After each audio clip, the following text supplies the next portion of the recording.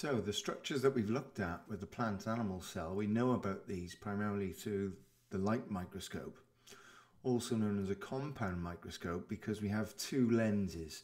We've got the eyepiece lens here and then you've got an objective lens here and you can normally select one of three lenses. Quite often they are a times 4, a times 10 and a times 40 magnification and usually the eyepiece lens has a magnification of times 10 well that's not written in stone. I think I've got a couple in my school which are times 6 on the eyepiece.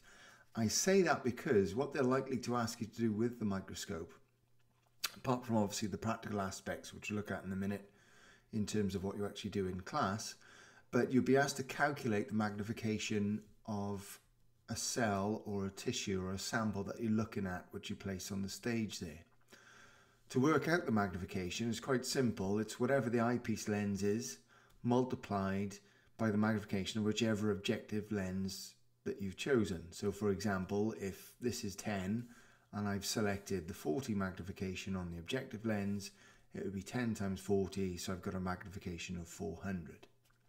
Okay, I, I put a note there by the way because my artistic skills weren't good enough to draw a lamp or a mirror there. I tried it a couple of times and it just wasn't happening for me, so I left it out. Okay, but there would normally be that there. So what you're going to be doing, and it is a specified practical, what that means is you've got to cover at some point, you'll have to make a slide either from onion skin or using your own cheek cells and you've got to be able to prepare this and view it and then draw it in the, the lab setting.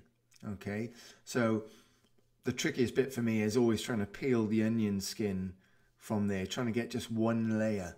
Because if you get multiple layers, when you view this on the slide, the cells will overlap and it just becomes very, very confusing.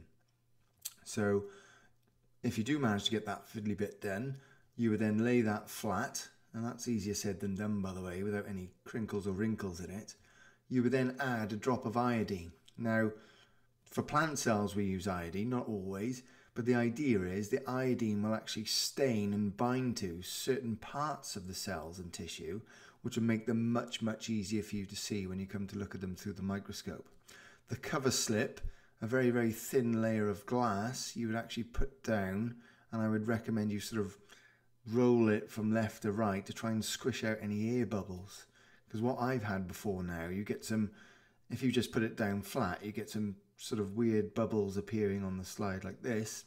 And when students look at them through the microscope, they start thinking that these are cells, when in actual fact they you can you can tell that very dark outlines and sort of perfectly round. But I've had students sort of draw these and, and think they're drawing plant cells, which they're not.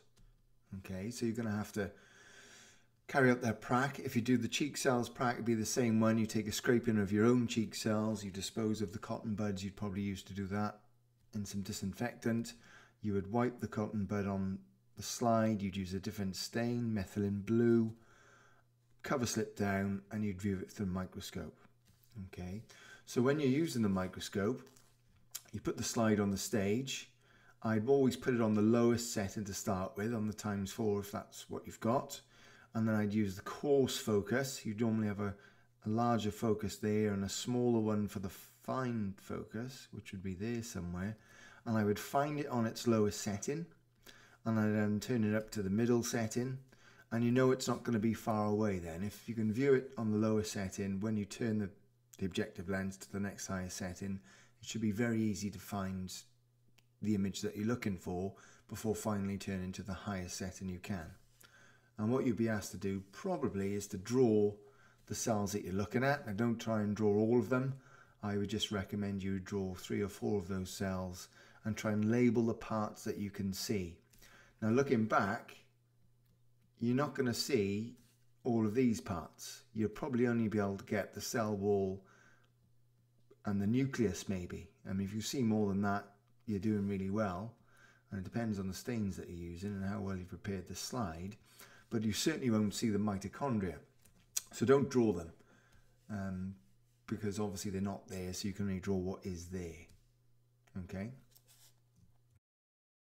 Now, the issue that we have with a light microscope is the resolution. So resolution is the ability to tell that two objects are in fact two objects. What I mean is, if you've got poor resolution, there could be a membrane next to another, an inner membrane, but when you view it through a light microscope, it will just look like one thick line. You won't be able to discern that there's actually two parts there because the resolution isn't good enough. If we want to improve our resolution, we would use an electron microscope, which apart from being super expensive, when you prepare a sample for an electron microscope, you've actually got to coat the sample with a heavy element such as gold, which will obviously kill the sample or kill the cells that you're looking at. So it's a double-edged sword there. You improve the resolution, you can really see vast details, superb detail with an electron microscope, but in doing so, you're not going to be able to view living cells. So the light microscope, certainly for our purposes, is all we need, and that's going to give us the, the resolution that we need to look at the samples that we're looking at. Okay. Now, we, previously we've looked at plant animal cells, and you must understand that those cells is a general cell trying to represent the parts that you find in lots. I mean, the, the cheek cell, for example, you could look at, does look just like that cell there, not with the weird colours that I put on, by the way. Um, and palisade cells in a leaf do look like the general animal cell that we've drawn. In reality, though, most cells differ from that general cell. They're specialised to carry out their task. And I've, I've put four examples here. It's not mentioned in the spec exactly which examples you should look at, but these are fairly common ones. So you've got a sperm cell, which has this bit at the top, this cap called an acrosome containing enzymes, which will help, help it digest its way into an egg. It's got lots of mitochondria to provide energy through respiration uh, to enable the tail to move for it to swim. The root hair cell, if I was to talk about how this is specialized, look how its shape differs. It's got a much bigger surface area as a result of that structure. And that means a bigger surface area means it can absorb, it's got a bigger area to absorb the, the water and the nutrients that it's going to need. More of this later when we look at active transport, by the way. A fat cell, we've got this fat store in the middle, a vastly reduced cytoplasm to allow room for that.